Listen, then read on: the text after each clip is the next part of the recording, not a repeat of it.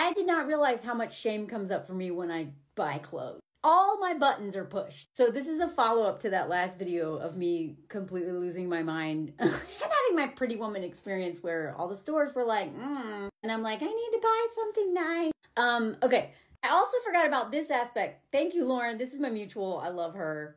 We're buddies. We go way back to like New York comedy school. And I, I forgot about this aspect too, because even though like I like how I look now, I feel good in my body. When I try on clothes, I hate how I look, no matter how confident I feel. There's something about the lighting of the dressing rooms. There's something about being like barefoot in this like intimate and, and, you know and the curtains never close they can see me like i feel like like so insecure trying on clothes in a store but especially one of these fancy rodeo drive type stores like here in France that I was going to. Like, I seriously can't believe stores exist. This is my first time in a store that they did not have a price tag on it. You're supposed to assume. Like you should not be in there if you can't afford a lot. So, I mean, I, I, I was like too afraid to be like, how much are these pants? So just for starters, um, I spent five hours trying to find something for this photo shoot.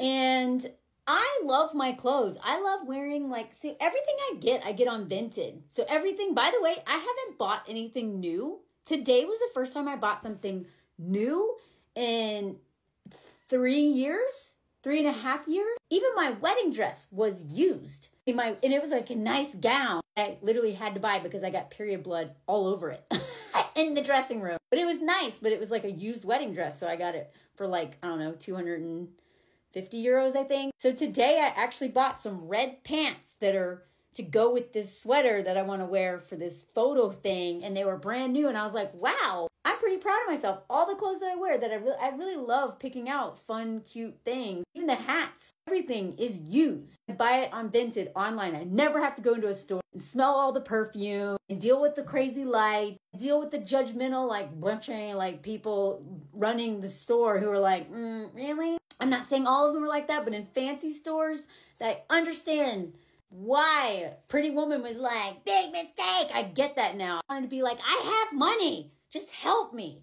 God, I know I look stupid, but I do actually have money. I saved for this moment. Anyway, anyway, the other thing is like, again, I am at my most confident I've ever been. I actually feel like I look better now at 45 than I ever did in my 20s or 30s or whatever. Because I was really sick back then. I was like, mark. So I had crazy body image issues. I wore clothes with holes in them and stains on them because I just didn't care. I was in the outdoors. I was working on set and, you know, in the set, in the art department where you just are covered in paint all the time and, you know, tape. Like, no matter what I weigh, I will always see something different. And even though I have all the privilege, right, of, of, of being in a skinnier body whatever whatever is broken up here never sees what other people see. So i'm always like god i don't know if it's ever going to go away. But i finally made peace with my body until i enter a dressing room. So i don't even face all of the other things of being in a bigger body you know? The the the, the treatment of others the the all you know all this stuff. I mean i'm the smallest i've ever been right now and i still am always like which is all like in, totally internalized fat phobia and i hate it and i hate purity culture taught me i hate capitalism taught me that patriarchy taught me this and it's all tied into you know all the systems right so anyway and on top of that it comes down to money part of me is like maybe you should buy a nice dress melanie even though it's very expensive maybe it's nice to have a nice dress. Like, and I'm like, no, I can't. I can't. It is so hard to level up. I will level up in my career and I'll level up in other things, but when it comes to like how I look and like my finances, I it's so hard. And Lauren, thank you, Lauren. Lauren's the one who taught me to level up until uh, you know, I hired her to help me figure out how to like respect myself more. And I was charging people because I'm also a writing coach. I'm not doing as much lately, but I should probably start doing it because the stuff this is burning me out. Um, I wasn't charging enough. I, I literally changed people's lives, their careers like that. I'm really good at it. But I was like, I don't know, maybe I should tell, you know? And it's people like Lauren and some of my other friends are like, no, Melanie. Like they have to be mean about it. Not mean, never mean, but like firm, like, no, I know it's uncomfortable but this is what you're worth, even if you don't believe it. all of these things play into this, right? The shame, the shame is in all of it. God. I'm like, why am I 45 and just now getting headshots? All of my peers in New York and LA were, would invest in their headshots right out of the gate because they knew they had to do that. Not me. There's something about me that always wants to humble myself, you know? My goal is to be a peacock, okay? Like, I want to have the confidence of a peacock that's like, look at me. I like, uh, look at me, you know? I swear, I think it's so funny that like male birds are the ones who are like, Bah! and like the female birds are just boring. It makes sense. I wish I. I just could. I want. I want.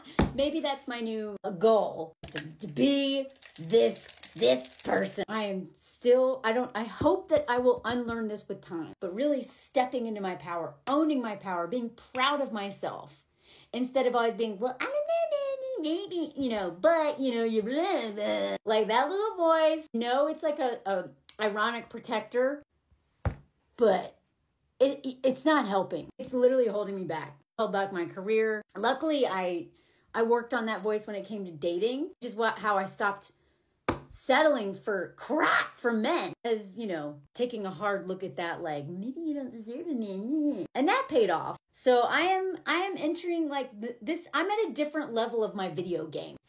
Before it was like my home life and then it was like my dating life. Now it's my career. How do i level up and respect myself in my career. And so tomorrow I am going to go buy that stupidly expensive dress because I see it as an investment. It is so I can't believe they charge this much for dresses. I've shown it to several friends. And by the way, I did have a friend at the mall with me yesterday. I would not have, I mean, I literally showed up in tears and then I saw her and I was like, oh, okay, this could be fun. But today it's like a, what?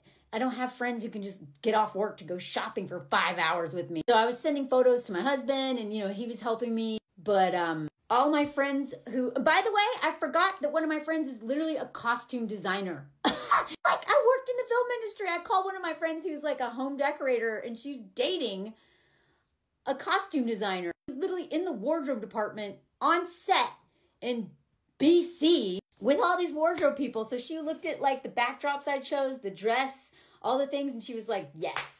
Gave me some a, a little bit of feedback for me to like get something. And now I'm like, I feel good. But it's like, it doesn't even occur to me to ask people. Just one reason why I make these videos. Because y'all remind me that we can't do this crap alone. We need people's help. We need their advice. Not always. Sometimes we really know what's best for us and we need to like stop listening to other people's advice. But staying true to myself, true to my intuition, and also being open to advice from people who really know me and get me. Um, that's this like weird balance. And now I feel really good about the shoot. Tomorrow, we're gonna go buy that dress and lock it in. It's, it's due tomorrow. Tomorrow is the deadline. I waited until ADHD. It's the bane of my existence, but it's also what makes me so creative. So I'm I'm grateful for it. But God.